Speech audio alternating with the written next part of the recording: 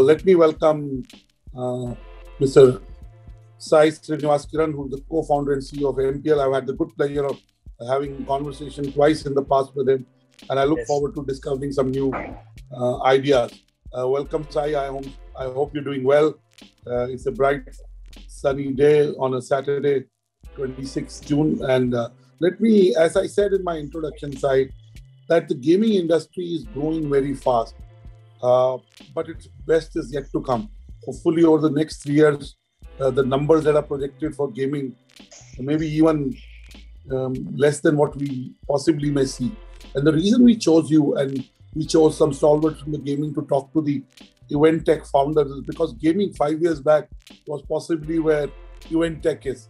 So they're very different contexts using both. You know, gaming is, uh, is a mainstream activity for a lot of people. It's entertainment, it is profession, it is competitive sport, it is the thrill of all these things put together. But event tech has also has a utilitarian value. Today, uh, we are doing this virtually. We've done many events virtually. And I keep saying we're in a 3C economy a collaborative, a compassionate, and a contactless economy. So give us a sense of, uh, you know, when you're a pioneer in any domain, uh, what do you have to watch out for? What do you do to grow the industry? And what do you do to grow your business? Because in some way, event tech is that is at that inflection point. Right? So give us uh, our event tech founders. We have about uh, 40 odd founders on this broadcast and about 350 people uh, right now watching us. So tell them uh, uh, what are your views in terms of being a pioneer and an early player in an industry that is still very, uh, you know, on the cusp of growth. Uh, firstly, uh, thank you so much, Anurag, for having me here. Always a pleasure to speak to you. Uh, so I think the first and foremost uh, thing that you need to do when you're uh, when you're a pioneer in any industry is I think you you you have to you have to firstly you know push away the pessimism because a lot of the, a lot of a lot of pessimism is usually thrown your way saying that this is not going to happen or something isn't going to happen the way the way you would want it to. But the fact of the matter is that like you said this contactless economy or this online economy is here to stay and that's not going anywhere right? I think uh, i think the thing that changed for gaming uh, was that when device penetration data penetration and payments penetration improved automatically people started taking up to gaming in massive numbers. I think what you'll see for the online event tech industry also is that because of the same three reasons there'll be more newer and interactive ways of doing online events.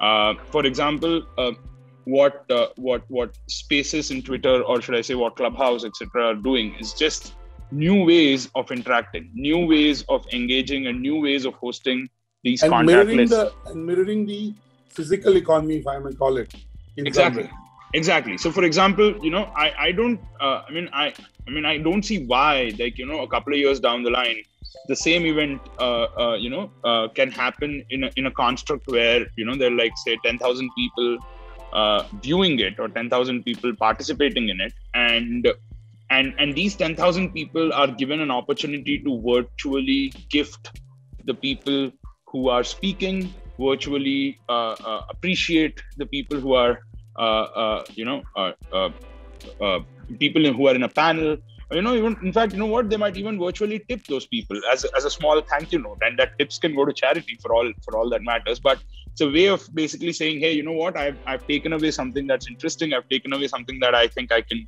I've, i i learned something from this event and and and and that's a new way of interacting. I think what will happen and what people should focus on is uh, the core basics needed to host a virtual event like video conferencing etc these are all done and dusted right I think what's going to really, really uh, uh, rule the roost is if you are able to build more unique ways of interacting. How can you make the experience more interactive? In sense, how can you bring the audience in, uh, to to to join uh, the conversation as much as possible? it Need not be a simple Q and A, but there can be many different ways of doing it, like virtual rewarding, virtual gifting, etc. Is being being one. Clearly, you're saying that uh, you know in terms of best practices in terms of increasing engagement, in terms of, you know, you know, even in our survey, the biggest thing is about uh, giving them the networking, giving the attendees uh, the network you know experience. So in some way, mirroring those behaviors online. Now, yep. tell us, um, tell us, you know, uh, some key consumer trends that you see from your vantage point of being the co-founder and CEO of MPL. Give us a sense of what's happening in the consumer internet economy that may be relevant for our event tech founders too. Yeah, yeah. So I think what's happening very clearly in the consumer economy is uh, uh, uh mass market uh, microtransactions is taking off.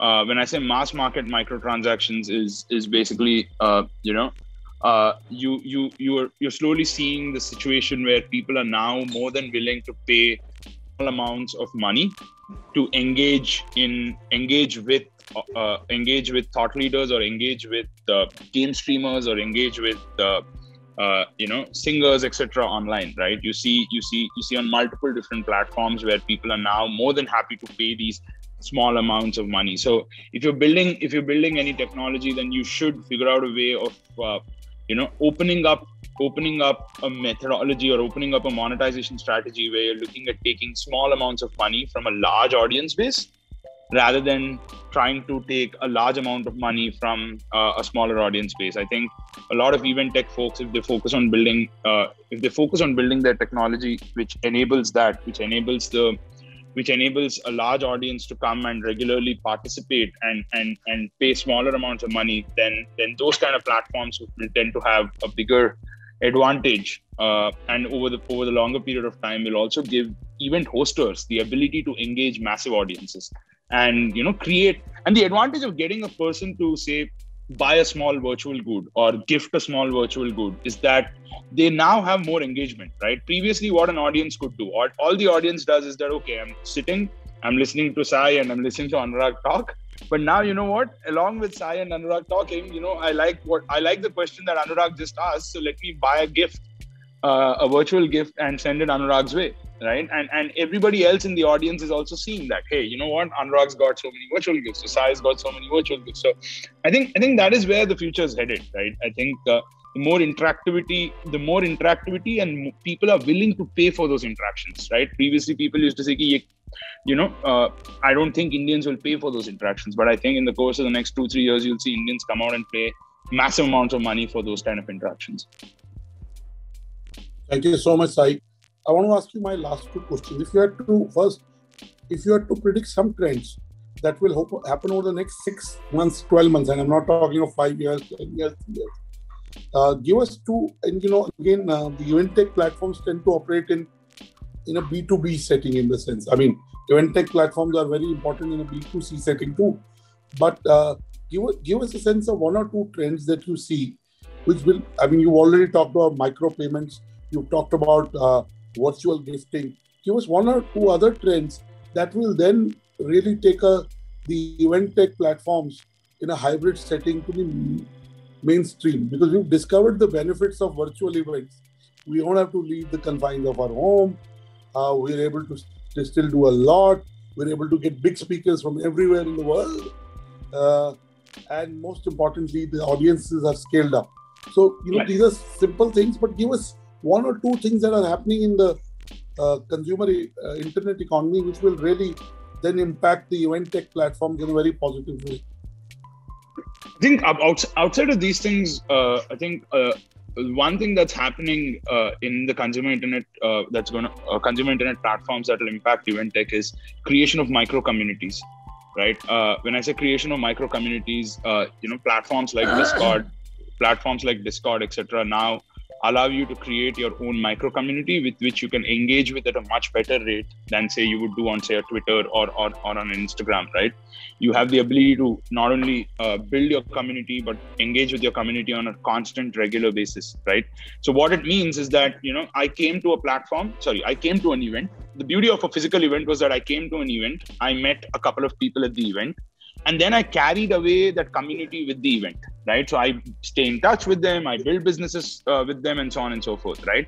One of the things that is missing in the online space is that ability to interact which you said uh, uh, at the beginning right? Where i serendipitously meet another person and i'm able to take that person's uh, i'm able to take take that person away with me in the longer run and, and build something meaningful right So I think what you will see happen and uh, uh, uh, and happening already in, in in the internet space, or should I say, consumer internet space, is this creation of micro communities. And I think if if the event platform can build those micro communities where I've met someone at this event and I'm now uh, taken and, and I'm now you know have the opportunity to uh, build something with that person or or do a business partnership with that person those micro communities will become very very powerful. I think how do you build that micro communities in virtual events is, is very powerful is very important and i think someone's going to do that. Thank you so much.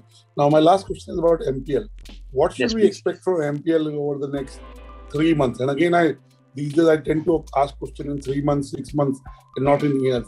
Now, what next for mpl you used a very big uh, icon in india to be able to help you build your brand and you know with the traction in gaming and your own uniqueness you were able to scale up. What next for mpl so i think the one thing the one thing for us uh, is that you know uh, we're very very proud and very happy to have uh, be- become the principal sponsors of the uh, indian olympic contingent and the asian games and commonwealth contingent as we recently announced. I think what we're now trying to do is to slowly start working and bridging the gap between physical and digital sport. Uh, what you will see us do is uh, is is to promote uh, physical sports like archery, shooting, etc. via digital games and get a lot of people to participate in these tournaments and slowly get some of the winners of these tournaments to actually try out the physical versions of the sport so kind of create a bridging experience where you know both physical and digital sport meet and both of them kind of uh, supplement one another i think that's one thing that you'd see us do a lot over the course of the next three to six months kind of like how physical events and digital events are kind of like you know uh, uh, uh sure sure sure. it's a great it's a great segue into you know we really believe in our research also that the hybrid economy is there to stay. It be a combination the best of both worlds. And uh, there is a consumer question there is an audience question. Do you think that once things go back to normal we're in a post-pandemic world? Right now we're not in a post-pandemic world. We're living the pandemic though the numbers may have ebbed do you think that once things go back to normal, the consumer mentality would remain in the lockdown mindset or go back to the mindset of pre-pandemic?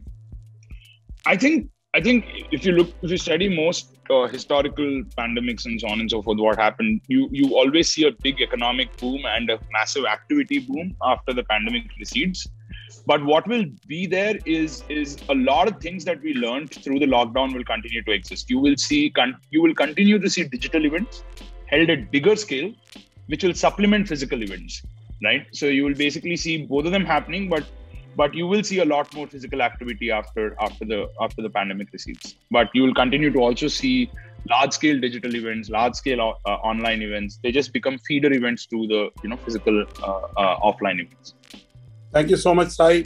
It's a Appreciate pleasure it. chatting up with you. Look forward Thank to you. chatting up again. And I'm sure, uh, like the gaming industry is really, I have no other word, exploding in the sense of growing. Uh, usually, I'm sure the growth of event tech platforms with the revolution will become part of our daily lives. Thank you so much, Sai.